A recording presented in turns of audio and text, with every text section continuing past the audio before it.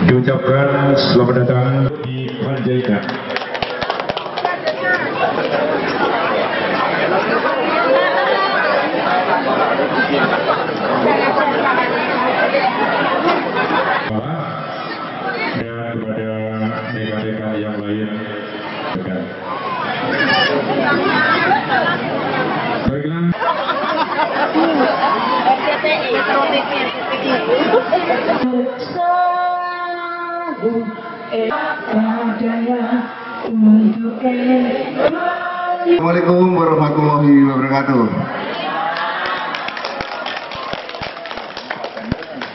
Mudah-mudahan dan saya tegaskan Panjenengan semua harus merapat barisan untuk mendukung Pak Jokowi untuk periode kedua.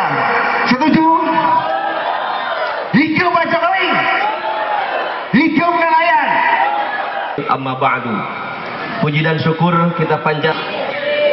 Salam sejahtera untuk kita semua. Salam. Ya Pak Nono dalam komitmen Pak Jenderal Indonesia maju. Warga nelayan yang saat ini hadir baik penumpang maupun parti setelah penjembatan jaket dari GNM akan dilanjutkan sambutan dan harahan dari beliau yang kita tunggu lagi baju ini. Nanti salah lagi nih nanti kampanye lagi pikir. Saya tidak datang kampanye.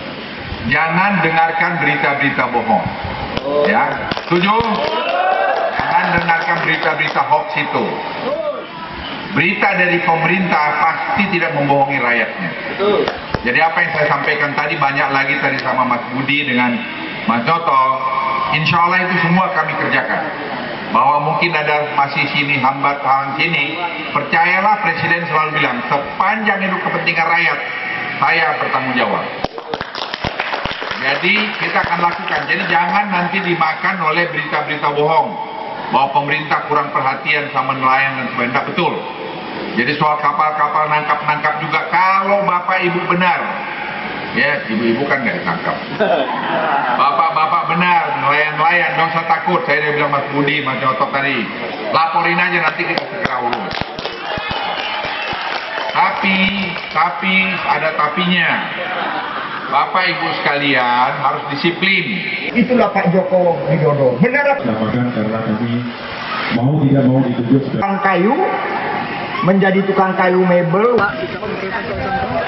Ya, kita sedang uh, studi uh, di apa di PB mengenai hasilnya nanti kita Pak mengenai kebocoran negara itu juga apakah kita apa? kebocoran anggaran Tapi kalau dibilang berlebihan sama sekali tidak. sampai 500 triliun? Nah betul itu bohong itu. Bilang aja kalau itu bohong.